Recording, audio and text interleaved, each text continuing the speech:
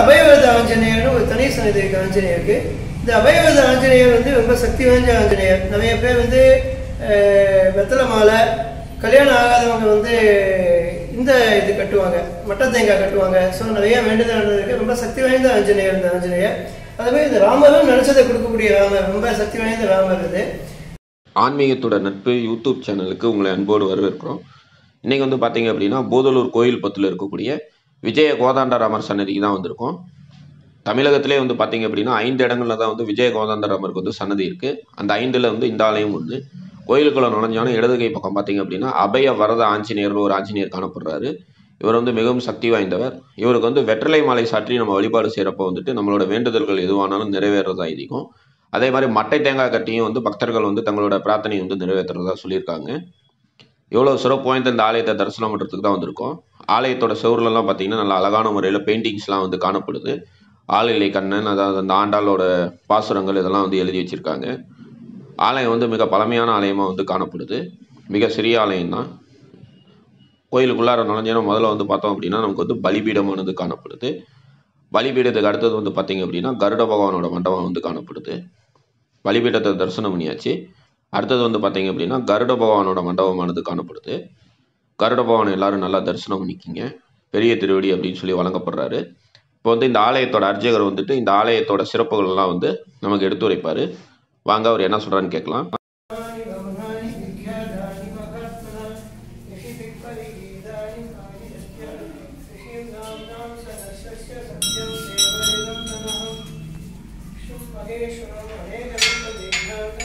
மகேஸ்வரம்.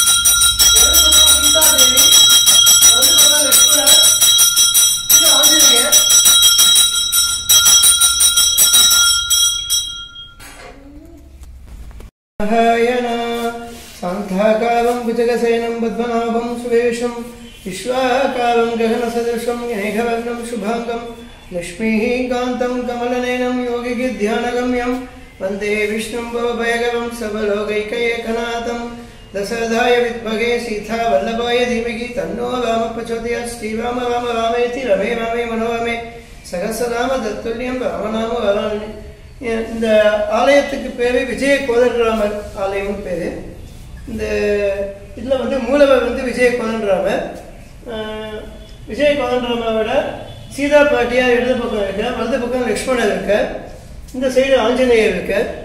கோயிலில் வந்து கருட மண்டபம் இருக்கு. இங்கே சுதர்சனருக்கும் ச- யோக நரசிம்மருக்கு தனி சன்னதி இருக்கு. வெளியில் வந்து அபயவத ஆஞ்சநேயர்னு ஒரு தனி சன்னதி இருக்கு ஆஞ்சநேயருக்கு. இந்த அபயவத ஆஞ்சநேயர் வந்து ரொம்ப சக்தி வாய்ந்த ஆஞ்சநேயர். நிறைய பேர் வந்து வெத்தலை மாலை கல்யாணம் ஆகாதவங்க வந்து இந்த இது கட்டுவாங்க மட்ட தேங்காய் கட்டுவாங்க. ஸோ நிறைய வேண்டுதல் நடந்திருக்கு. ரொம்ப சக்தி வாய்ந்த ஆஞ்சநேயர் இந்த ஆஞ்சநேயர். அதுமாதிரி இந்த ராமரும் நினைச்சதை கொடுக்கக்கூடிய ராமர். ரொம்ப சக்தி வாய்ந்த ராமர் இது தமிழ்நாட்டிலேயே இதில் வந்து ஒரு அஞ்சா ராமர் கோயில் இருக்கு. விஜய் அந்த கோதண்டராமர் கோயில். அந்த கோதண்டராமர் கோயிலில் பூதலூர்ல உள்ளது வந்து விஜய கோதண்டராமர் என்று ஒன்று இருக்கு. இந்த விஜய் இந்த கோதண்டராமர் கோயிலில் வந்து முக்கியமாக புரட்டாசி மாதம் கிருஷ்ண ஜெயந்தி ராமநவமி எல்லாமே நல்லா கொண்டாடுறாங்க. பத்து நாள் கொண்டாடுவோம் எல்லாமே. புரட்டாசி மாதம் ஒரு சனிக்கிழமையும் திருமஞ்சம் நடக்கும். அதே மாதிரி ராமநவமியில் பத்து நாள் உற்சவம் நடக்கும். நவமியிலேருந்து பத்து நாள். அதே மாதிரி கிருஷ்ண ஜெயந்தியும் இதுலேருந்து அஷ்டமியிலேருந்து பத்து நாள் நடக்கும். இது வரைக்கும். தீபாவளி அன்னைக்கு ப கணு மண்டகப்படி தீபாவளி மண்டகப்படி எல்லாமே நடக்கும். இதை தவிர இது வந்து ஒய்கால பூஜைக்காக அனுமதிக்கப்பட்ட கோயில். மெயினாக வந்து இந்த ஊரில் வந்து நிறைய பேர் நிறைய செய்வாங்க அந்த கோயிலுக்கு. இந்த ஊர்லேருந்து உள்ளவா நிறைய பேர் மெட்ராஸில் வெளியூரில் இருக்காங்க. அவங்க அந்த கோயிலுக்காக நிறைய செஞ்சுன்னு இருக்காங்க ஸோ இப்போ வந்து கும்பாபிஷேக டியூ இருக்குது இந்த கோயிலுக்கு. நிறையா திருப்பணிகள் வேலைகள் செய்யணும். ஏன்னா மண்டபம்லாம் கொஞ்சம் நல்லா வீக்காக இருக்குது ஸோ கவர்மெண்ட் கிட்ட சொல்லியிருக்கோம். ஸோ எப்போ பண்ணுறாங்கன்னு தெரியல. இது நல்லபடியாக பண்ணுவாங்கன்னு நினைக்கிறேன். ஸோ கும்பாபிஷேகம் நடந்ததுன்னா அந்த கோயிலுக்கு ஒரு புதுப்பிப்பு வந்துடும் மெயினாக பார்த்தீங்கன்னா இப்போ தான் சுதர்சனம் வந்து பிரதிஷ்டை பண்ணாங்க ரீசெண்டாக தான். முதல்ல கிடையாது. ஏன்னா அந்த நிறைய பேர் வந்து சுதர்சனத்துக்காக வேண்டின்னு இங்கே வந்து விளக்கு போடுவாங்க ஏன்னா நிறைய பெருமா கோயிலில் ஸ்ரீரங்கத்துக்கு தான் போக வேண்டியிருக்கு சுதர்சனம். ஆனால் இங்கே சுற்று வட்டாரத்தில் உள்ளவங்க தான் சுதர்சனத்துக்கு இங்கே வந்து விளக்கு போடுறாங்க. ஸோ அது வந்து ரொம்ப பாசிட்டிவ் பாயிண்டாக இருக்குது ஏன்னா ஸ்ரீரங்கம் போக வேண்டாம். இங்கேயே வந்து இங்கே உள்ளவங்க வராங்க. கள்ளப்பரம்பு பூதலூர் சுற்று வட்டாரத்தில் உள்ளவங்கலாம் எக்கரத்தழவாக்கு விளக்கு போடுவோம். ஸோ நல்ல சக்தி வாய்ந்த கோவில். இதுதான் வந்து இந்த ஆலயத்தில் அருள் பாலிக்கக்கூடிய சக்கரத் ஆழ்வாரோட சன்னதி சுதர்சன ஆழ்வார். அவருக்கு பின்னாடியே வந்து யோக நரசிம்மர் வந்து காணப்படுறது ஒரு தனி சிறப்பு.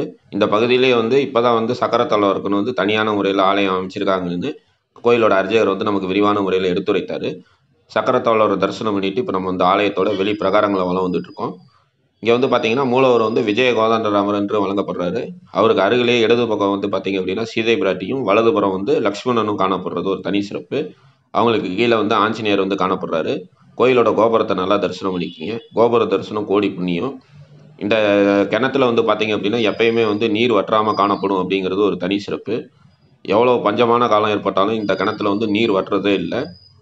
அதை வந்து எப்பயுமே தண்ணி இருந்துக்கிட்டே இருக்கும் அப்படிங்கிற மாதிரி சொல்லியிருக்கிறாங்க. மிக பழமையான ஆலயமாக வந்து காணப்படுது. கோபுரத்தை நல்லா தரிசனம் பண்ணிக்கிங்க. இந்த ஆலயம் எங்கே இருக்குன்னு சொல்லி பார்த்தீங்க அப்படின்னா போதலூர் கோயில் பத்தில் இருக்கக்கூடிய அந்த சிவன் கோயிலுக்கு அருகிலேயே தான் வந்து இந்த ஆலயமானது காணப்படுது.